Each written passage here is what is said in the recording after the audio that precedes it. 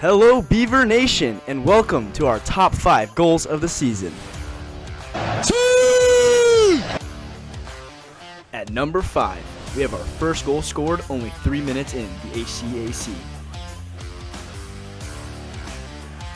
Ben slots in Elijah, who sends the defender to the concession stands for a hot dog, and slots it home with a lovely weak footed finish in the side netting.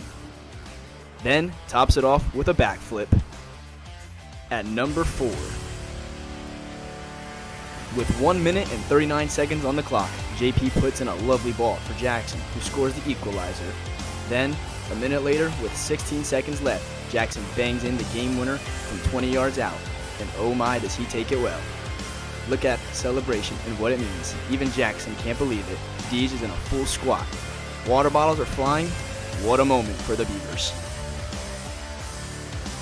At number 3, talk about individual brilliance here. JJ, who puts the defender into the splits, fakes the pass to the top of the box, but takes it inside and tops it off with a lovely near post finish.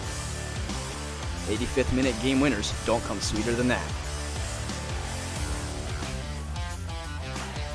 At number 2, Leo wins the ball off the press and shows lovely composure on the ball. Look at that, they cannot take the ball off of him.